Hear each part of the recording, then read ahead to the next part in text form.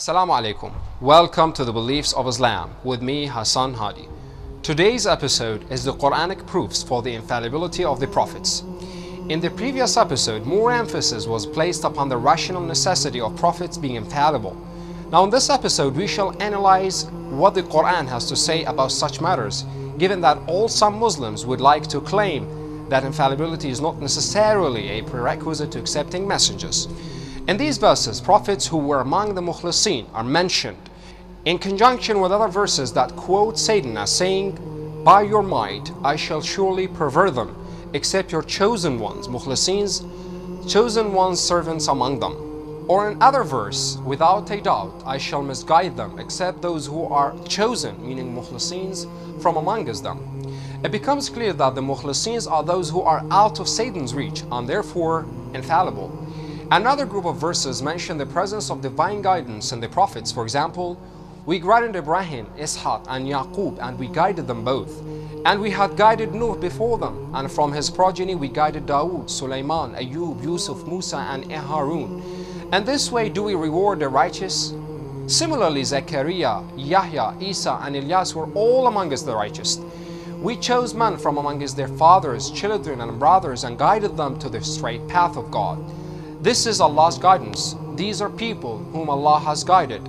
So follow their guidance. O Muhammad, we do not ask you for any remuneration for this message. This message is simply a reminder for all people. These verses indicate that the prophets have been guided by Allah. Now in conjunction with the verse where Allah states, there can be no one who misguide him whom Allah guides it becomes evident that none can misguide the aforementioned prophets since they have been guided by God the Almighty.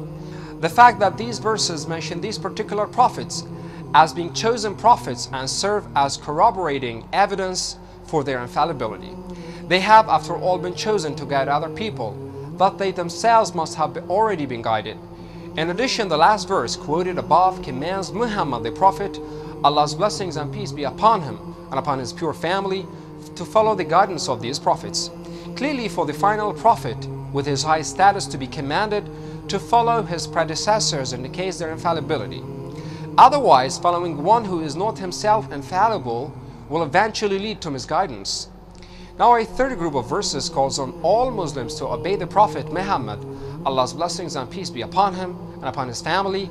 For example, one verse states, Say, if you love Allah, then follow me so Allah should love you and forgive you your sins.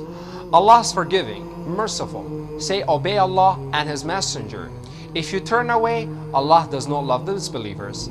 Another ayah states, Whoever obeys the Prophet has obeyed Allah.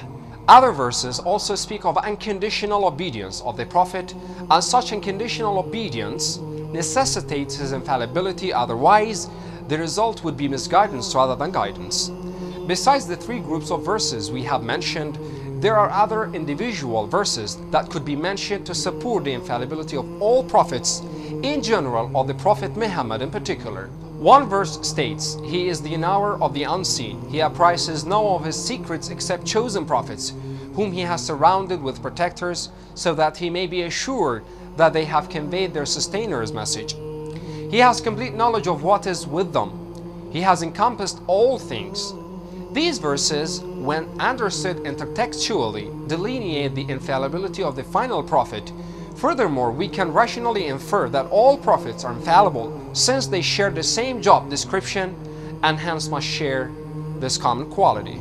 This is for today. Until we meet next episode, thank you very much indeed and Assalamu alaikum wa rahmatullahi wa barakatuh.